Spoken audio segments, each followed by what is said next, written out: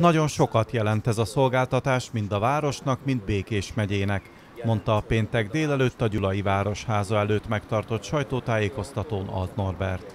Az eseményre azért került sor, mert tavaly márciusban indult el a koraszülöttmentés Békés megyében. Az eseményre azért került sor, mert tavaly márciusban indult el a koraszülöttmentés Békés megyében Békés megyei járművel.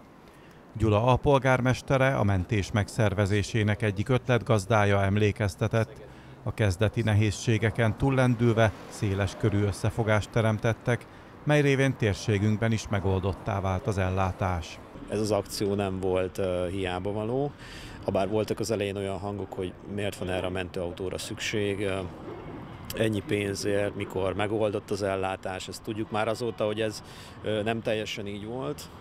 Lehet azt látni, hogy a mentőautó, illetve az a, az a korszerű eszközök, amelyekkel fel van szerelve, ez mennyivel növelte meg a koraszülöttmentés szakmai színvonalát, mennyivel növelte meg a koraszülöttek esélyeit is az életben maradásra.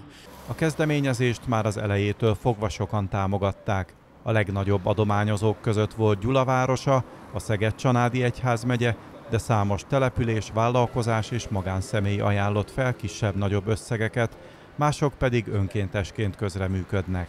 Nagyon szeretjük, hogy van ez a, vagy rendelkezésre áll számunkra ez a mentő, nagyon jól felszerelt, tényleg bármikor szükség van rá, rögtön ugye a helyszínen tud lenni, elő van készítve, a minővéreink készítik össze rá az eszközöket, a felszerelést, tehát mindent pontosan tudunk, hol van, mindig minden rendelkezésre áll, és ugye rögtön tudunk indulni vele, szóval ezek nagyon nagy előnyt jelentenek a számunkra. A koraszülött mentő alapítvány elnöke Abdurrahman Abdurrab Mohamed elmondta, az elmúlt egy évben 168 esethez vonultak, péntek kora hajnalban volt az utolsó.